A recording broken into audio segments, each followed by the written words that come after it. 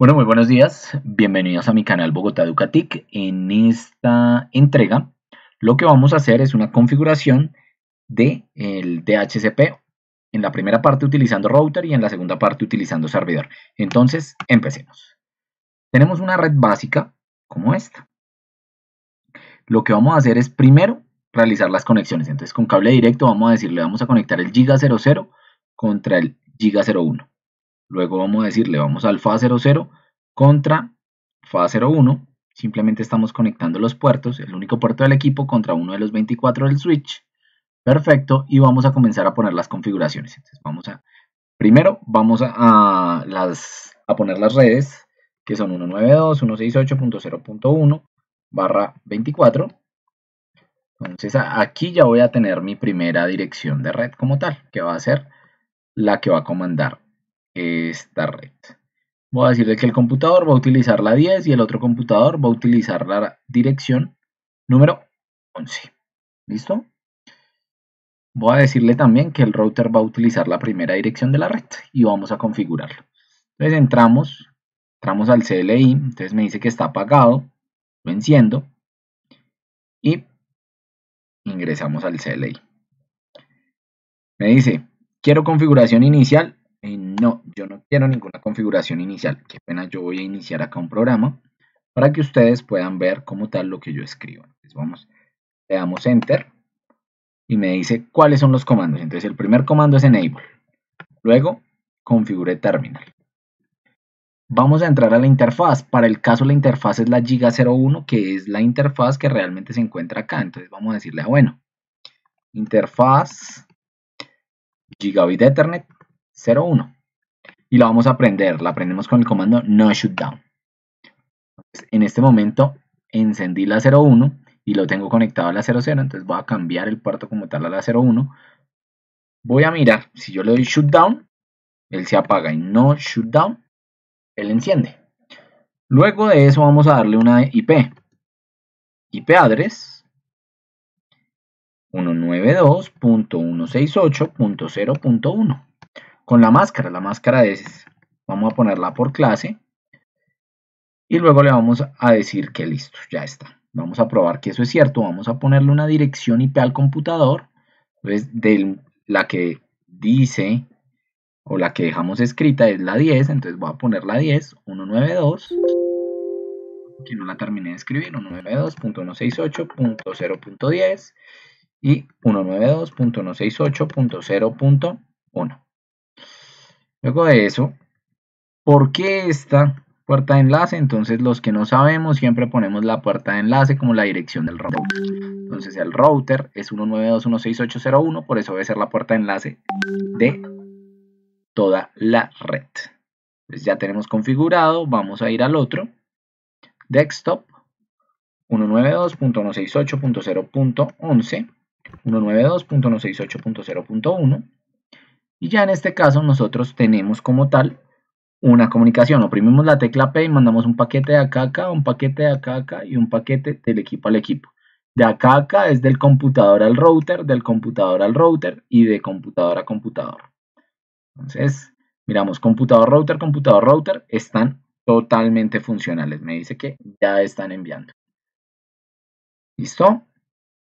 Pero el problema es que la idea es montar un servicio de HCP, que yo no tenga que ir y poner como tal esta dirección manualmente. Entonces vamos a conectar un computador para que se conecte realmente por DHCP. Entonces vamos a poner nuestro equipo, nuestro equipo queda acá.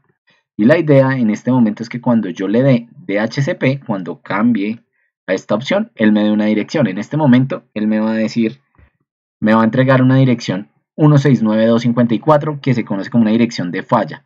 ¿Para qué se utiliza esta dirección realmente en el DHCP? Para que si tengo dos equipos que no toman dirección por DHCP, ellos dos puedan hacerse ping como tal, para que no tengan red total con la red normal, pero si ambos están dentro de la red y no pueden, eh, no pueden conectarse a la red porque tienen un direccionamiento errado, pero van a poder hacerse ping entre ellos, van a poder armar una pequeña red entre ellos. ¿Cómo hacemos para configurar el DHCP? Entonces rápidamente va a ser simplemente salimos y le damos IP DHCP excluded address. y seleccionamos el rango de las direcciones que yo quiero excluir. Entonces yo voy a decirle 192.168.0.0 hasta 192.168.0.90. Entonces ahí yo excluí de la 0 a la 90. ¿Cuándo debo hacer exclusiones? Cuando yo tenga computadores de, de mesa que necesite que tengan una dirección fija, cuando tenga servicios de impresión, porque las impresoras normalmente no deben estar en un DHCP, lo mismo me pasa con los servidores, los equipos que tengan servicio siempre deben tener una dirección, eh, una dirección fija. Entonces esa dirección fija va a ser específicamente para los equipos que tienen como tal eh, un, un servicio al cual vamos a apuntar. ¿Listo? Entonces, en este caso yo dejé 90 direcciones. Vamos a decirle, bueno, yo no quiero 90 direcciones. ¿Cómo quito esta exclusión? Simplemente no. Y le voy a decir, listo. No voy a dejar 90, sino voy a dejar 20 exclusiones. Cuestión que la primera dirección que él me va a entregar es la 11. ¿De qué dependen esas exclusiones? De la cantidad de equipos que yo tenga en la red. Entonces, ahora sí, ya hicimos las exclusiones, las direcciones que no puede entregar el router. Ahora vamos a crear el DHCP. Entonces, el comando es IP DHCP pool y el nombre. Vamos a decirle acá eh, red 1.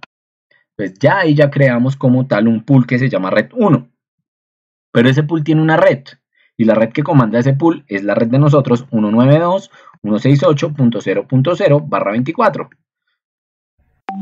Que sería 192.168.00.255.255.255.0. Luego de eso, nosotros ya dijimos, ah, bueno, la red que comanda como tal este DHCP es la red que está aquí adentro. Pero aparte de eso, tengo que decirle, ah, venga, pero ¿y cuál es el default router? ¿Quién es la puerta de salida? Y ya dijimos que la puerta de salida era 192.168 terminado en 1. Entonces vamos a decirle, default router 192.168.0.1.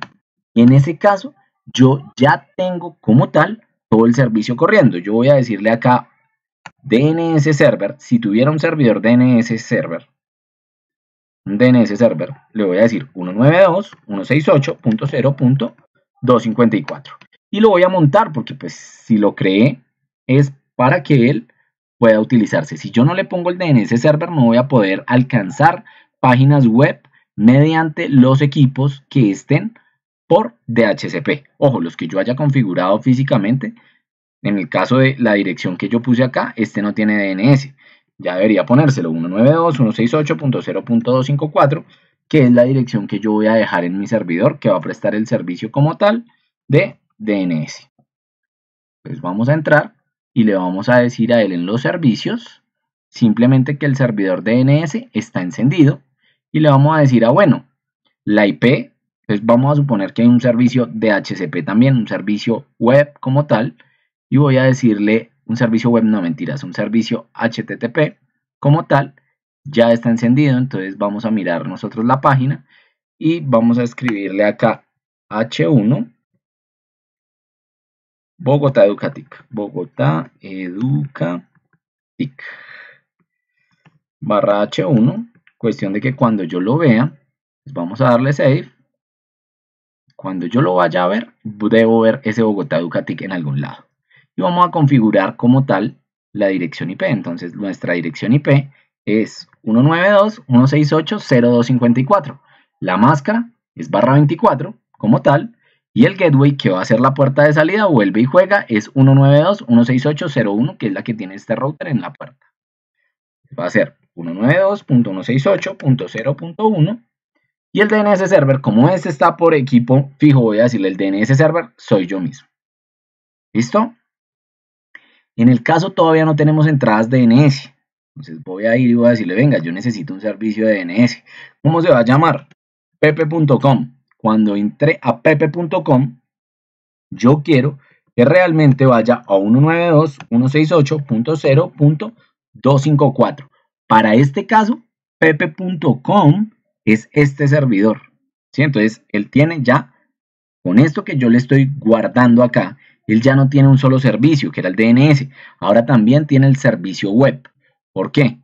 Porque mi DNS dice que cuando ingrese en esta dirección, cuando ingrese en pepe.com, me lleve a esta dirección y él va a intentar buscar el servicio web en esa dirección.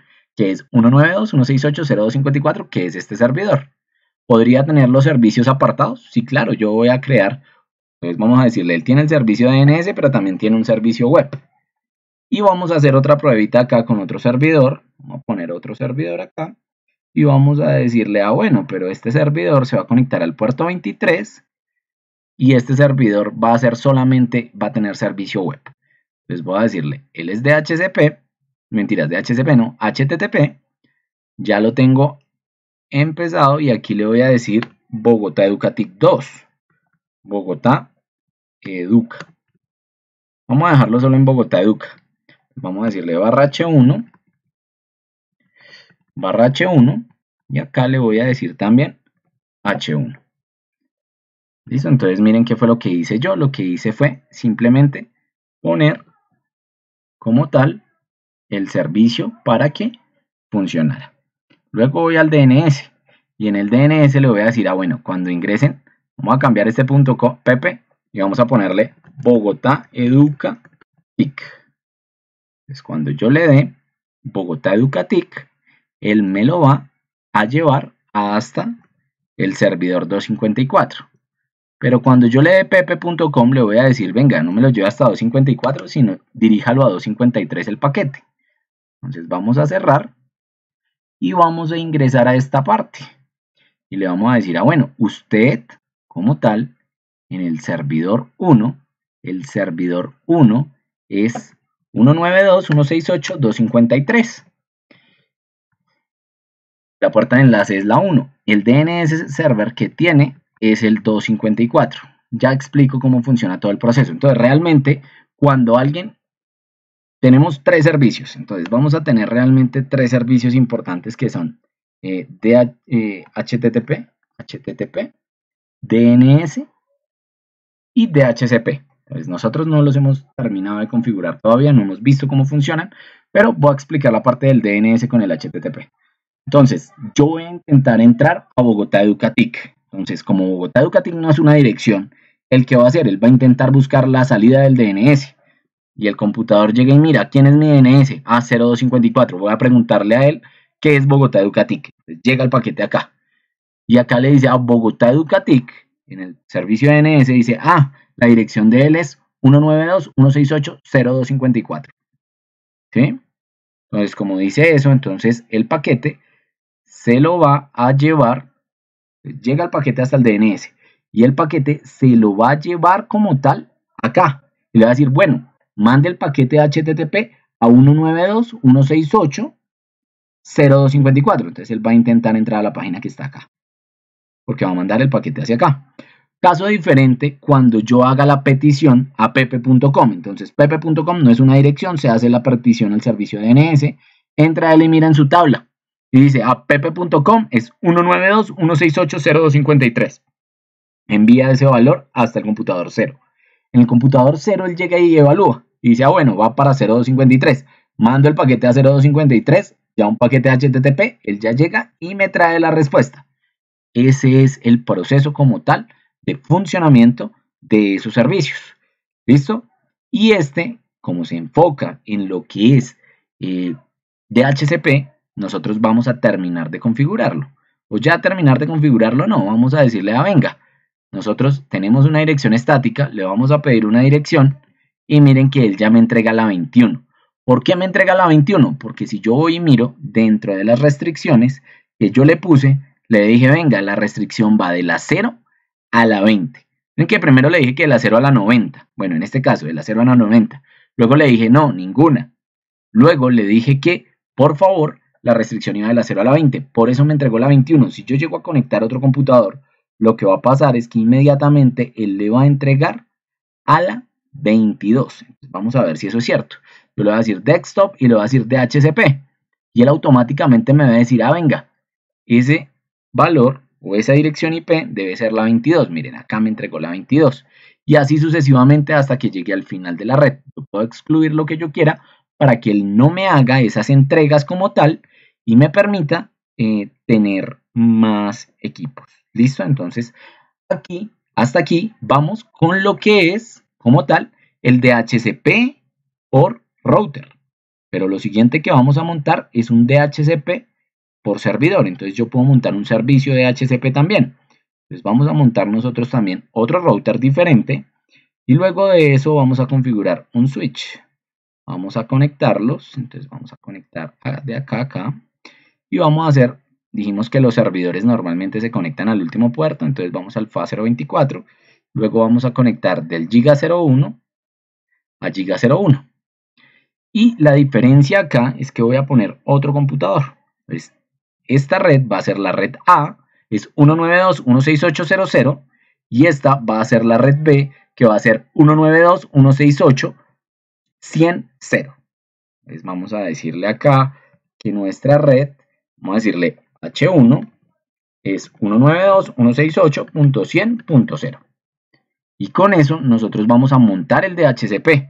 ¿Cuál es la diferencia? En el primer caso, el DHCP lo manipulaba. ¿Quién? Mi servidor DHCP era mi router. En el segundo caso, el servidor que van a manipular el DHCP va a ser este servidor. Entonces, nosotros vamos a configurar el servidor para que pueda entregar una dirección de red. Vamos a configurar primero el, el router, entonces lo apagamos, le ponemos una tarjeta serial, encendemos, vamos al CLI y acá en el CLI nosotros le damos al D, al D, al D, perfecto, ya encendió, vamos a decirle, bueno, lo vamos a encender, entonces no quiero ayuda, enable, configure terminal, luego de configure terminal interfaz, para el caso yo pedí la giga 01, y con la giga 01 le voy a decir no shutdown, IP address 192.168.100.1 barra 24. Listo. Luego de eso, ¿qué va a pasar? Nosotros lo que hicimos fue ponerle la 1, la primera dirección, y se la aplicamos a este puerto de acá. Bien, que sería el giga 01. Ya teniendo esa dirección, lo siguiente que vamos a hacer es darle un direccionamiento como tal a mi servidor. Voy a decirle, ah, bueno, el servidor es 192.168.100.254 barra 24 y la puerta de enlace es 192.168.101. Yo puedo decirle que tengo un servidor DNS en otra red. Si tengo acceso a la otra red, perfecto. Entonces la dirección del servidor DNS era 192.168.0.254. ¿A quién estoy apuntando con esta dirección? A este servidor. ¿Para qué? Para que él me vaya a prestar también el servicio de DNS. Obviamente, para que esto me llegue a funcionar, necesito un enrutamiento como tal entre las dos redes. Vamos, a hacer un cambiecito acá. Simplemente es ponerle H1 para que se vea más grande esta red y tengamos un entendimiento fácil de la red. Luego de eso, yo voy a mirar si tengo paquetes de envío con la tecla P entre el router y el servidor. Perfecto, el router y el servidor están enviando. Del computador al router no hay porque el computador no ha obtenido eh, DHCP todavía, una dirección. Él no tiene direccionamiento. Entonces vamos a venir a los servicios y vamos a configurar como tal el servicio de DHCP. Entonces yo le voy a decir, encendamos el servicio. El default gateway. ¿Quién es el default gateway? El default gateway es la dirección como tal que tenga mi router. Que para el caso va a ser 192.168.100.1. Luego de eso me dice DNS Server. ¿Quién es el DNS Server? Yo quiero que el DNS Server sea este de acá, el de la otra red, que todavía no hemos conectado las redes. Lo vamos a hacer ahorita por medio de RIP, pero acá vamos a utilizar 192.168.0.254. Aparte de eso me dice cuál es la dirección de arranque. Entonces yo le voy a decir, venga, arranque desde la 30. Lo mismo que en el router era el IPDHCP Excluded Address. Luego me dice cuál es la máscara de subred. La máscara de subred como tal es 255, 255, 255, 0. ¿Y cuántos clientes puedo tener? Yo le voy a decir, ah, bueno, máximo puedo tener 50. Y en ese caso, yo ya tengo como tal un servidor configurado. Cuando yo vaya y le diga a él, venga, deme una dirección, él debería darme una dirección. Miren que ya me la entrega, me entrega la dirección, me entrega la máscara, me entrega la puerta de enlace y me entrega el DNS. No se me olvide, el DNS está en la otra red. ¿Listo? DNS acá. me hizo la linecita derecha. Listo, perfecto. Entonces, en este caso, nosotros ya tenemos como tal, si yo conecto otro computador a esta red y lo conecto por DHCP, le pido una dirección automática, él debería entregarme la 31. Vamos a esperar y nos vamos a dar cuenta que efectivamente él me entrega la 31. Ahora, ¿qué debemos hacer? Ahora debemos conectar los dos routers para que las dos redes sean totalmente accesibles. Entonces vamos a ir, vamos a conectar como tal por medio del puerto serial. Entonces vamos a mirar a ver por medio del puerto serial. Entonces para el serial es este puerto de acá. Vamos a decirle listo. Puerto serial contra puerto serial y los dos puertos están apagados. ¿Por qué? Porque debo configurarlos. Entonces voy a configurarlos y luego de configurarlos lo que vamos a hacer es un enrutamiento RIP. Vamos a decirle acá CLI enable configure terminal interfaz. ¿Y a qué interfaz quiero entrar? Entonces ahora quiero entrar a la interfaz serial. Le voy a decir, ah bueno, interfaz serial 0 barra 0 barra 0 no shutdown Vamos a mirar quién controla como tal, quién es la interfaz de control. Sabemos que en Packet es con el relojito, el DCE. Y acá miramos que él es el DTE. Entonces el reloj lo controla el router 0. Vamos a decirle, ah, bueno, listo. Entonces a router 0 le vamos a decir clock rate 128.000 y le vamos a decir nada shutdown. Ya tenemos como tal la configuración de este puerto.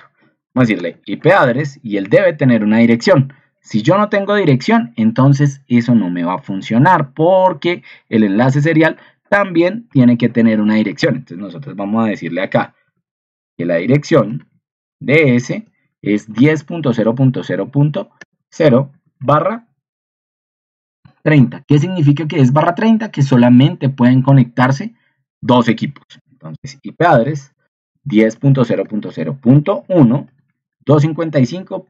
como es barra 30, la máscara es 255, 255, 255, 252. shutdown y ahí ya ahora sí terminamos la configuración de este router para el direccionamiento. Fíjense que el puerto se encuentra apagado, entonces para encender ese puerto nosotros vamos a entrar al otro router y vamos a darle exit. Vamos a ingresar al puerto que nos interesa, que para el caso es el serial 000. Vamos a decirle interfaz serial 0 barra 0 barra 0 no shutdown IP address 10.0.0.2 el otro router era el 1, este es el 2, 255, 255, 255, 252. Y luego de eso vamos a probar do ping 10.0.0.1 y ese ping debe responderme. Si el primero se les pierde, no hay problema. ¿Cómo sé cuándo se pierde? Pues cuando no se pierde, salen estos símbolos. Cuando él llegue y les haga algo como 5 puntos, bueno, a mí no me quedan muy derechos, pero 5 puntos suspensivos, él va a hacer, mejor dicho, no hay configuración dentro de los routers. Eso es lo que quieren decir esos puntos.